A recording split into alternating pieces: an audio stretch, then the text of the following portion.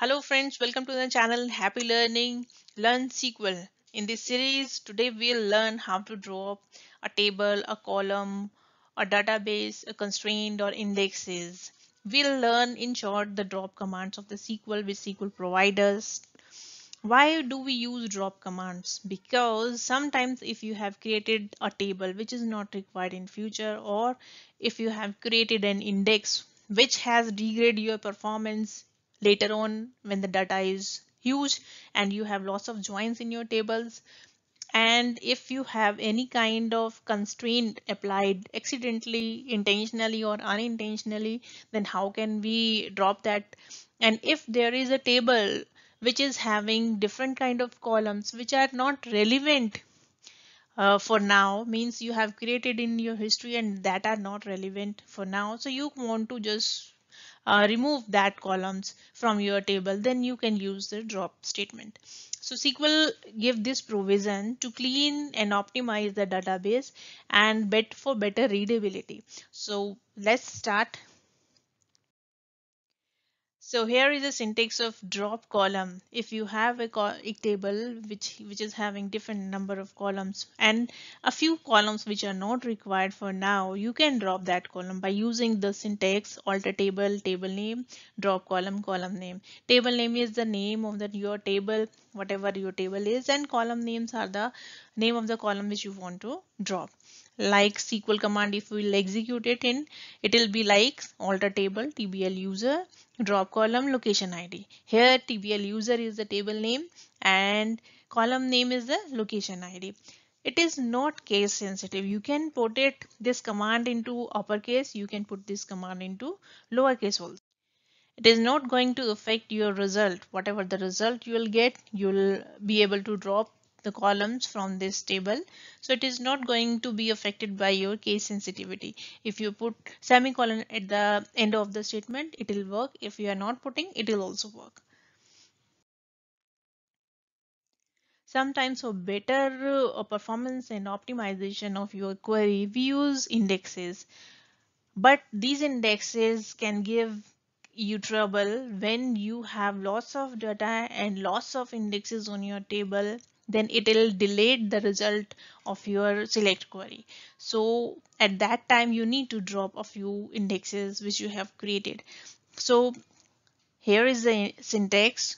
First syntax is how you will create that. Create unique index. This is the example of unique index. Then index name on TBL user is the name of the table and on which column you are trying to put it that column name. Then drop statement drop index index is the abbreviation which you need to put. Then table name dot index name. And for the command drop index table name dot index name. See this index name is u underscore pid is the index which you have created. See the first statement of the create and this is the drop statement. Same for the constraints here is the syntax. Alter table table name drop constraint constraint name and then the example is alter table person. Person is the name of the table. And drop constraint whatever the name of the constraint it could be you can put it over here and execute it. It will drop your constraint. We have discussed all about the constraint in our previous video. I'll put my link in description box for uh, last previous a few videos. You can go through that and learn Then we'll talk about the drop table. Suppose you are working with the SQL and you have created a lots of table. Later on, on different stages of your project, you realize that these tables are not important for you and these are not relevant, not in use for future. So you want to drop the, all those tables. So how you can do it? You can use this statement using drop table and table name. What it will do, it will just drop all the tables which you'll give in this table name and you'll wave off all your data all your indexes and all your constraints which are related with this table. Means this table will vanish from your database with all its respective related data. So this is the command of drop table table name and table name could be any table name which is not relevant for you for now. Then drop table like this we have taken example of tbl users we are dropping tbl user table over here SQL gave us option to drop database also. Here is a simple syntax of putting um, database name just before drop database syntax. And uh, if uh, we are uh, from the beginning creating and working over test database db test so if we need to insert a command or put a command of drop database then we have to put drop database database name. Then it is the example how we can work with it by using the drop statement. This is the alter statement which we can do. First statement is for drop column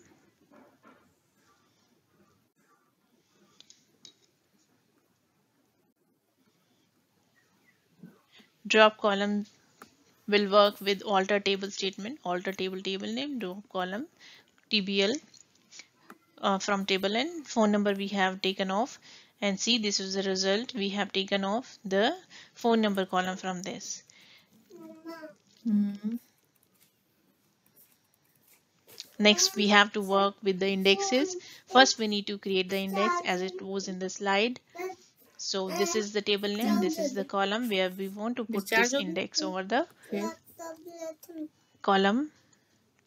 And this is what the command executed successfully completed successfully. And this is the syntax how we'll drop any index. we have created a unique index. What are the unique indexes? We have created and we have discussed that in our previous slides in previous chapters in previous videos and this is what the table name is we just executed a create command let's see before dropping this uh, command whether this index has been created over the table or not. So we have a shortcut for that to view the table structure alt plus F1. Just select the table name and press alt plus F1 alt alternate key plus F1 key. You would be able to see the table structure and related things with the table. See this is the index which we have created the same name with the index key is the column name. We want to drop it and we executed it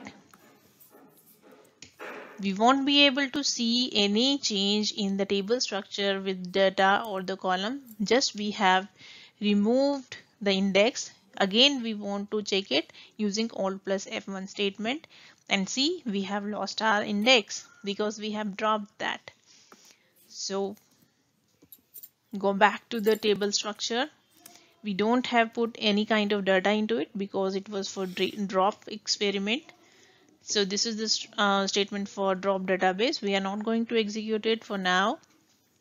This is for drop table. Drop table table name any table name which you want to drop. Suppose I'm if I'm working with TBL user then I have to give TBL user. I want to drop it. See this is the table only with no data right now. I have executed this statement means this statement has clear all the structure all the data all the indexes and everything related with this table and if you'll execute the select statement you will get invalid object name and then after table name if you re-execute this statement then SQL can provide you an option. You cannot drop this because either you don't have permission or the object does not exist. Means this is not necessarily to um, existence of your uh, this object in new database or it could be like in big organization you, you are not the authorized person. So this is the message kind of hint why you are unable to drop this. So that's all for today. Hope you liked our practical video of dropping. Thank you. Keep watching keep learning and keep moving forward. If you are liking our channel and content please subscribe it. Press the bell icon like share and subscribe and comment. Thank you very much. Have a nice day